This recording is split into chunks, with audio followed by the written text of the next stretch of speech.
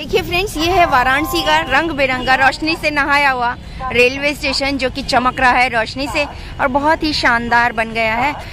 लाल, नीली, पीली, हरी, पिंक सब तरह की रोशनी है और यहाँ पर एक बड़ी सी स्क्रीन लगी है जहाँ पर कि हवन होते हुए दिखाया जा रहा है। और ये देखिए खूबसूरत रेलवे स्टेशन। बनारस का ये रेलवे स्टेशन इतना ज़्यादा खूबसूरत है कि आँखें ही नहीं थकती हैं इसे देखते हुए। इसकी चेंज होती हुई ये रोशनियाँ बेहद खूबसूरत लगती हैं। इस शहर को और ज़्यादा चमकाती हैं, निखारती हैं। ये देखिए, ऊपर इसके धर्म चक्र भी लगा हुआ है। धर्म चक्र वाराणसी के रेलवे स्टेशन पे लगा हुआ।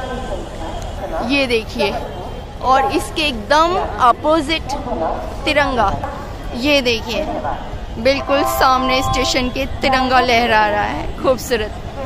इधर की तरफ़ सीधी हाथ को इस तरह की मीनार है, जिसमें रंग बदलते रह रहे हैं, खूबसूरत लग रहे हैं ना? गुंबद है बीचों बीच, रोशनी से नहाया हुआ रंग बदलता, और इधर का गुंबद ये। और फिर एक पिलर सा खड़ा है, जिस पे किसी संत की तस्वीर उकेरी गई है और उस पर दीपक जलाए गए हैं। और ये दीपक हमेशा जलते रहते हैं, बुझते नहीं हैं, इलेक्ट्रॉनिक दीपक हैं शायद। कितना सुंदर लग रहा है ना, ये रेलवे स्टेशन। क्या आपको अच्छा लग रहा है? कितना खूबसूरत स्टेशन है ये, बनारस का। दशमेश स्टेशन है ये। नया बना है ये स्टेशन। और इसकी खूबसूरती देखिए आप। इसमें अंदर घुसते ही मुझे ये देखने को मिला। ये देखिए।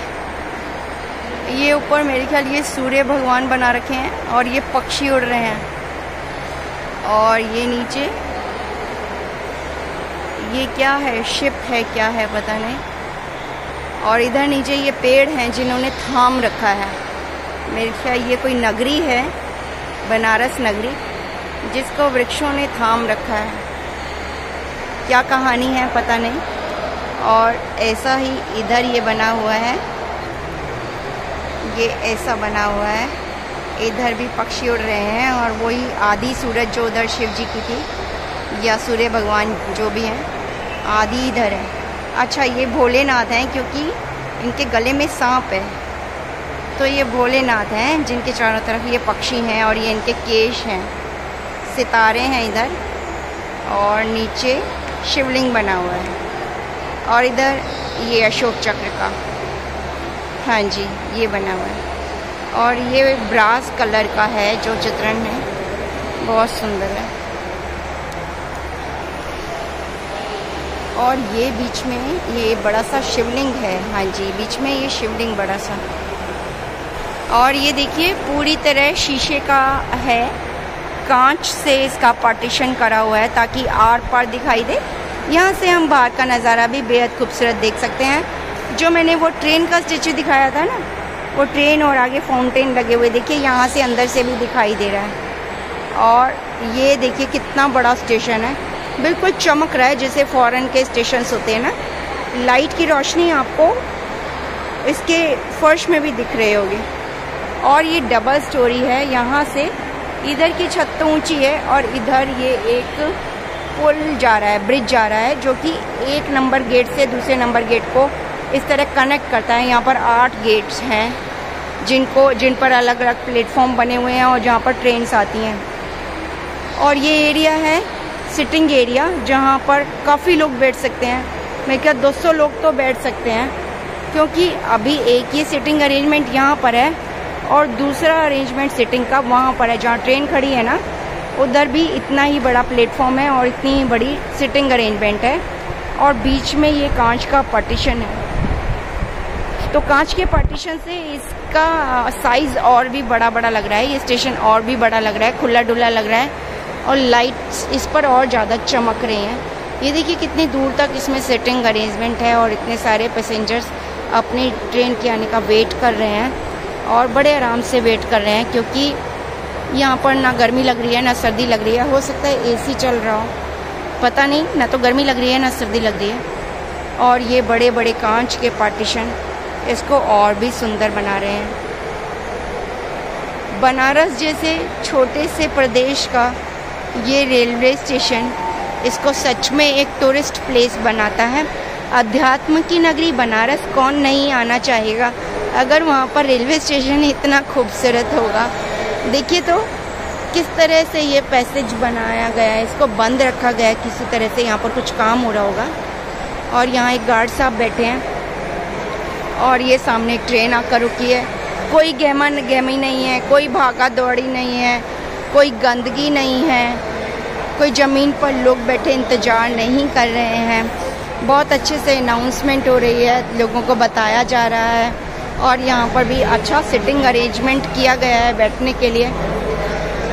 खूबसूरती से लोग बाग बैठे हैं रिलैक्स होकर बैठे हैं, इंतज़ार कर रहे हैं अपनी अपनी ट्रेन आने का। कोई हड़बड़ी नहीं है। ऊपर पंखे चल रहे हैं और पंखे की क्वालिटी भी अच्छी है। लाइट्स भी बहुत अच्छी लगी हुई हैं। रोशनी पूरी है। और बार बार अनाउंस हो रही है। इंग्लिश में भी हो रही है और हिंदी में भी हो रही है। ये देखिए, आपको सुनाई दे रहा होगा क्योंकि मैं आवाज़ कोई एडिट नहीं कर रही हूँ। ताकि आपको यहाँ की ओरिजिनल आवाज़ भी सुनाई दे। ये बहुत ज़रूरी है किसी भी जगह को महसूस करने के लिए। अगर आप वहाँ की ओरिजिनल आवाज़ नहीं सुनेंगे ना तो आपको वहाँ पर अपने होने का एहसास नहीं होगा। और मैं अपने व्लॉग्स में ये चीज़ बहुत ध्यान रखती हूँ।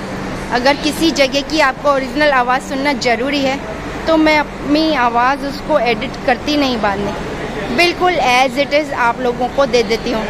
तब कि आपको ओरिजिनलिटी महसूस हो। मैं चलती जा रही हूँ पैदल पैदल चल रही हूँ। बहुत बड़े बड़े प्लेटफॉर्म्स हैं और इस तरह ये देखिए। इस तरह यहाँ पर ट्रेन्स खड़ी हुई हैं। देखने में लगता ही नहीं है इंडिया की ट्रेन्स हैं, क्योंकि इंडिया की ट्रेन गंदी होती थी, उनके ऊपर मिट्टी चढ़ी होती थी, उनका कलर पहचानना भी मुश्किल होता था। अब ये भारत के झंडे से सजी हुई ट्रेन्स कितनी खूबसूरत हैं, साफ़ सुथरी हैं, सजी हुई हैं। यहाँ तक कि एंट्रेंस की जगह भी बिल्कुल साफ़ है, कोई गंदगी नहीं है। और प्लेटफॉर्म आपको दिखाई दे रहा होगा, चमकता हुआ। तो बहुत अच्छा लगता है अगर ऐसा प्लेटफॉर्म हो, ऐसा रेलवे स्टेशन हो तो हर कोई आना चाहेगा। है ना? तो आपको बनारस का रेलवे स्टेशन बेहद पसंद आने वाला है। और यहाँ की ट्रेन्स भी। जिस ट्रेन से मैं दिल्ली जा रही हूँ, उसका नाम है नई दिल्ली फेस्टिवल स्पेशल चलिए, आप देखिए, मज़ा लीजिए और जल्द मिलते हैं। ब्लॉग पसंद आया हो तो सब्सक्राइब करना बिल्कुल भी नहीं भूलिएगा। जय हिंद।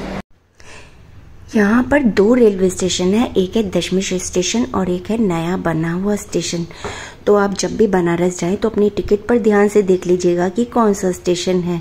दशमेश स्टेशन है या फिर नया वाला स्टेशन है। दोनों ही स्टेशन बेहद शानदार बने हुए हैं और बहुत सुंदर हैं। दोनों देखने लायक है।